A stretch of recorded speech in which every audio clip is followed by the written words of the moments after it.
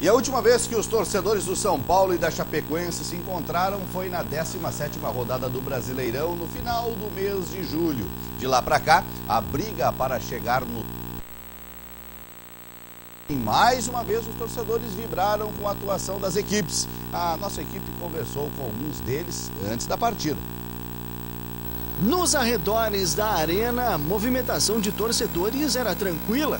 Alguns agitando e chegando motivados para o jogo. Outros mostrando coragem. Ou seria uma lição de que o duelo só existe dentro das quatro linhas? Vem cá, um São Paulino infiltrado no meio da torcida organizada do Chapecoense, pode isso? Não, pode, pode porque são nossos amigos da jovem, da jovem da Chapecoense, né? São nossos amigos. Alguns não são os amigos, mas aqui, ó, pra provar que a paz aqui bancada aqui, ó, satisfação. Jovem Chapecoense, torcida independente. É isso, amizade. Bom, então aproveitando o ensejo, qual que é o teu palpite? Palpite hoje, desculpa aí, irmão. 2x1 São Paulo. E aí? 1x0 Chapecoense. O importante é sair de bem, né? Entrar e sair de bem. Isso, é a paz entre as torcidas aqui, é amizade. Hoje é né? amistoso, hoje é amistoso, hoje é amistoso. Importante é a amizade, cresce cada dia. Essa permanência na torcida vai ser diferente ali, né? Com certeza. Muitos viajaram horas ou quilômetros para assistir a partida. Aqui, pai e filho vieram de Joaçaba para acompanhar o time do coração.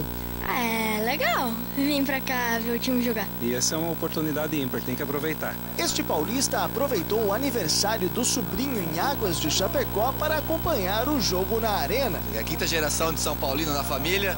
Trouxe o filho, acabei de deixar para entrar a primeira vez com o time.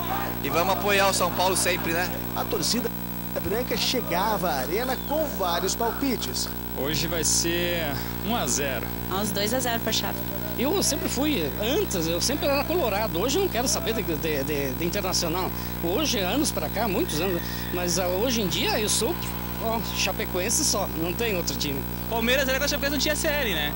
Daí depois esquece o Palmeiras. Agora é só Chapecoense na pele ainda. Estamos aqui toda quarta, todo domingo ou todo sábado que tem jogo, nós estamos aqui. E para quem acha que um time de futebol não pode mudar a cabeça do torcedor, eis o testemunho de alguém que era o visitante e agora é o anfitrião.